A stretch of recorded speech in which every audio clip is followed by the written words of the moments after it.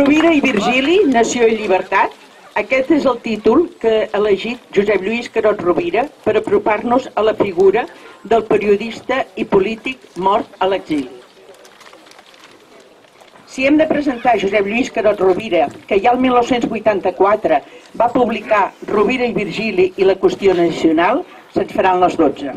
Com s'acostuma a dir, però sí que m'agradaria remarcar que si la nostra universitat porta el nom de Rovira i Virgili, és en gran part gràcies a la seva tossuderia i al seu esforç.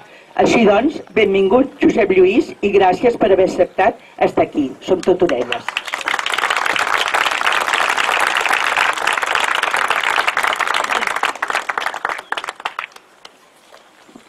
Bé, bona tarda a tothom. M'hauria agradat, com és lògic, parlar de Rovira i Virgili en un altre context. M'hauria agradat eh, haver-ho pogut fer amb l'amiga i presidenta Carme Forcadell asseguda entre el públic perquè hauria dit que ens trobem al segle XXI i amb un estat de dret. No com ara que som al segle XXI i amb un pretès estat de dret que ens nega el dret a l'Estat.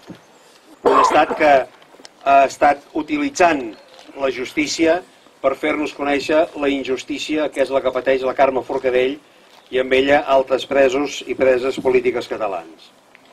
Antoni Rovira i Virgili va néixer a la ciutat de Tarragona, al carrer Major, justament al costat de la casa on hi ha ara el Departament de Cultura de la Generalitat.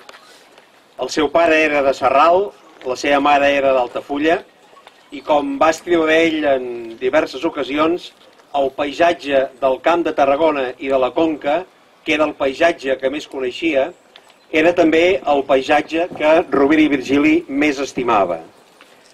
Ell era periodista, va fer els estudis d'advocat, com a periodista va arribar a escriure aproximadament uns 22.000 articles i com a autor de llibres uns 77 llibres.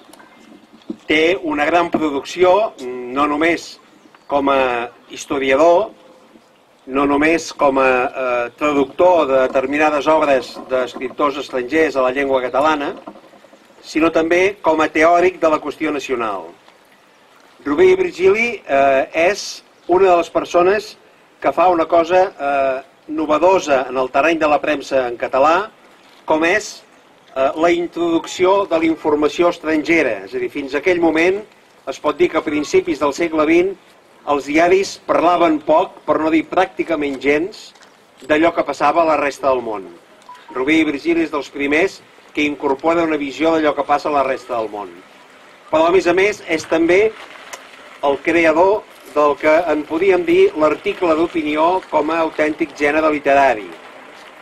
Gènere literari que va utilitzar d'una manera molt clara durant la dictadura de Primo de Rivera quan no podem parlar de política doncs havia de parlar eh, d'altres temes i d'aquí en van sortir dos llibres, El teatre de la ciutat i El teatre de la natura. Va néixer a Tarragona eh, l'any 1882 i, i va morir a Catalunya, va morir a Perpinyà el eh, 1949. Eh, és enterrat per voluntat de la família al Portús, per tant, en terra catalana, però a l'exili, com a recordatori que hi va haver desenes de milers de catalans i catalanes que, fugint de la dictadura assassina del general Franco, van haver de deixar el seu país i la seva terra. Segurament que Rovira i Virgili és, al costat de tres o quatre escriptors més, un dels grans prosistes amb una prosa més vella, més sòlida, més ben trebada i més ben feta. Hi ha estudiosos que han dit que llegir Rovira i Virgili és com llegir un autor que escriu en llatí però que és en català. Tot està perfectament delimitat des del punt de vista gramatical, arriba a una puresa majúscula. Crida l'atenció, per desgràcia, que els articles de Rovira i Virgili, 22.000 articles, no està gens malament, que els articles de Rovira i Virgili, malgrat que molts d'ells tenen ja 100 anys d'història, conserven encara avui una actualitat total i absoluta. En recordo un, per exemple, de la dècada dels anys 10, que diu, fa referència al fet que el diari ABC ha, ha començat una campanya de boicot contra els productes catalans. Penso que era l'any 15 o l'any 16. i diu això era en un diari en castellà, perquè els catalans sabem idiomes. Eh, a diferència del Congrés de Diputats, on el 80% dels diputats i diputades del Congrés de Diputats actuals només sap parlar una sola llengua. El 20% restant ja us podeu imaginar d'on són. Doncs bé, deia Rubí i Virgili, el diario ABC, que es el diario más tonto de España, y seguramente por esto el de mayor circulación, i aleshores ja deia a partir d'aquí que havien començat una campanya de boicot. Tota la prosa de Rubí i Virgili té un contingut polític realment d'una potència extraordinària.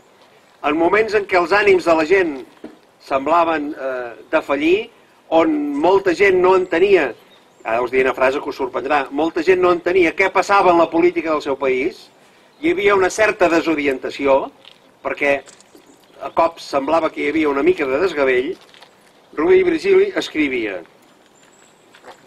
Procureu no renunciar al nostre màxim ideal.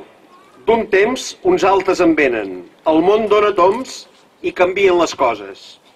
No sacrifiqueu l'ideal a la realitat fugitiva del moment. Sobretot no us vengueu l'esdevenidor, que fora com vendre-us l'ànima. La història està plena dels grans miracles de la fe patriòtica i sense aquesta fe no hi ha miracles. Tingueu fe en Catalunya, perquè aleshores vindrà el miracle de la nostra llibertat. Una fe que, evidentment, en aquests moments també ens fa molta i molta falta.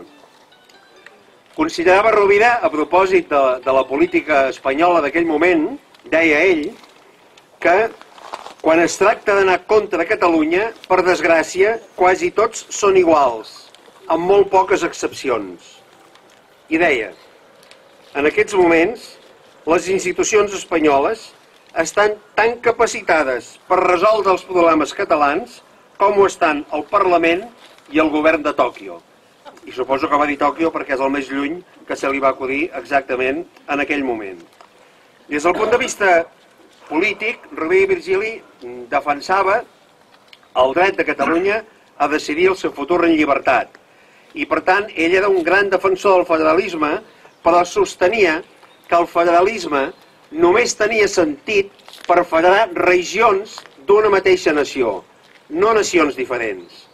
D'aquelles federacions on hi conviuen diverses nacions, al final, al cap dels anys, acaben saltant pels aires, com hem vist en les dècades eh, més pròximes ara, en casos com Txecoslovàquia, com Iugoslàvia, com la URSS, etc. Deia, en canvi, el federalisme serviria perfectament per articular una unitat nacional entre Catalunya, el País Valencià i les Balears. Parlava de federalisme interior i deia, un cop federats aquests territoris, federats aquests territoris, de cara en fora es poden federar o confederar amb qui vulguin, però ells conservaran sempre el dret de mantenir la sobirania absoluta. També Rovira Virgili era una persona que situava el tema de la llengua com un tema central, de allò que fa que els pobles siguin diferents, no millors o pitjors com els altres, sinó diferents, és la llengua. Perquè la llengua és la màxima aportació, l'única aportació original, insubstituïble, que pot fer un poble al patrimoni cultural de la humanitat. Si nosaltres renunciem al que ens fa diferents, que és la llengua, renunciem també a fer aquesta aportació al patrimoni de la, de la humanitat. En el cas concret de, de Rovira, insistia també en que hi ha una singularitat dels pobles que tenen poc pes demogràfic com el nostre, i deia que sovint són aquests pobles els més universals de tot. I posava un exemple molt clar. Deia, fixeu-vos que en els països de molts habitants que han tingut imperis, la Gran Bretanya, els Estats Units o Espanya, la majoria de la gent només sap una sola llengua, estem parlant de fa 100 anys. En alguns llocs, amb 100 anys, les coses no han canviat gaire. Eh? Perquè els sembla que sabent la seva ja ho saben tot. En canvi, deia nosaltres, els que pertanyem a pobles d'un pes demogràfic més reduït, sabem que nosaltres, amb nosaltres sols no fem prou. I, per tant, hem d'esforçar-nos per conèixer altres llengües i altres cultures, perquè la diversitat sempre és una riquesa. I també insistia com els catalans i les catalanes mm, teníem eh, sempre una gran solidaritat amb totes les causes patriòtiques del món. Sigui d'on sigui, deia, quan hi ha un poble que lluita per la seva llibertat, el poble de Catalunya immediatament s'hi sent representat i s'hi sent al costat. Responent un, unes declaracions que havia fet en aquell moment el, el líder de la dreta catalana de l'època, que era Francesc Cambó, Cambó deia el següent. Diu, Cambó assegurava que l'endemà de la nostra independència hauríem de tornar a unir-nos a Espanya novament. I diu Rovira, bé, això ja ho veuríem si es fes la prova. En cas de fer-la, davant els resultats, tots quedaríem convençuts. Vull retreure, però, el cas d'un amic meu que, fiança de teories naturals i biològiques, va aviar un ocell engaviat, esperant que tot sol tornaria ben aviat a la gàbia.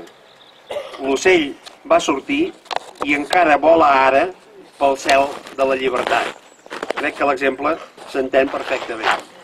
Poques setmanes abans que el president Lluís Companys proclamés l'estat català, l'octubre del 34, Rovell i Virgili va fer un article molt dur, molt dur, també perquè la situació política, social i econòmica era molt tensa a Catalunya i també a tot l'Estat.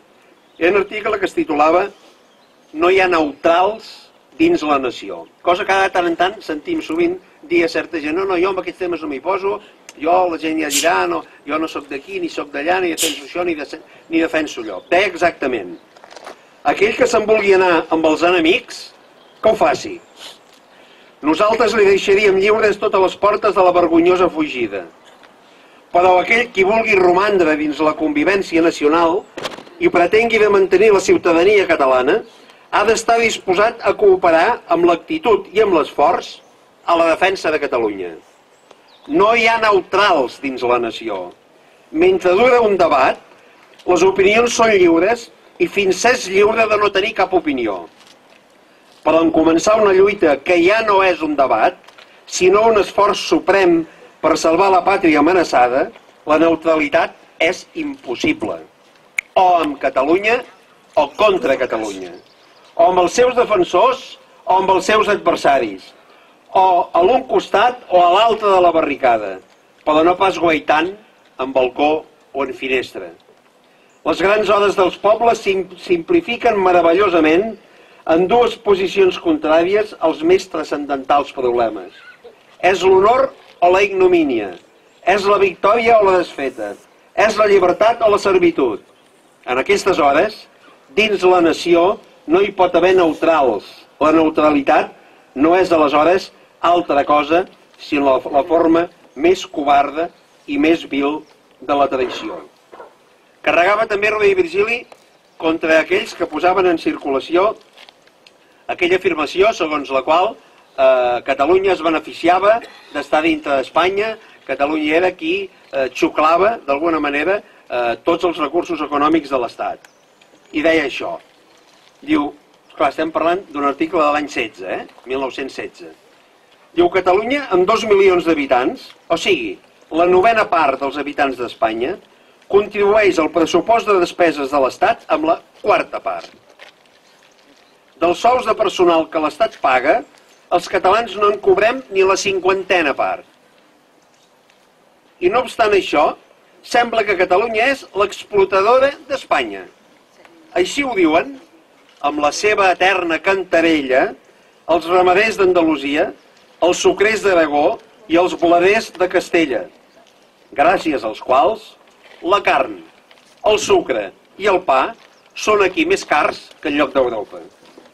I encara insistia, cada vegada que es planteja la qüestió de Catalunya, aquesta impressió des de Madrid, aquesta impressió estranya, es repeteix i s'accentua en nosaltres.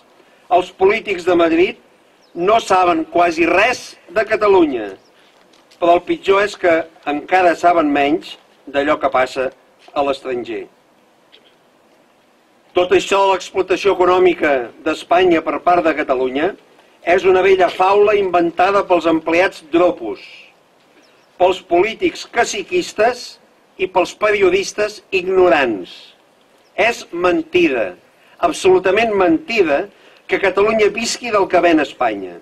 I la prova decisiva és que Espanya ven a Catalunya més del que li compra. Espanya no és un mercat per Catalunya, però Catalunya és un mercat per Espanya. Si arribés el moment de barallar-nos, més hi perdien ells que no pas nosaltres.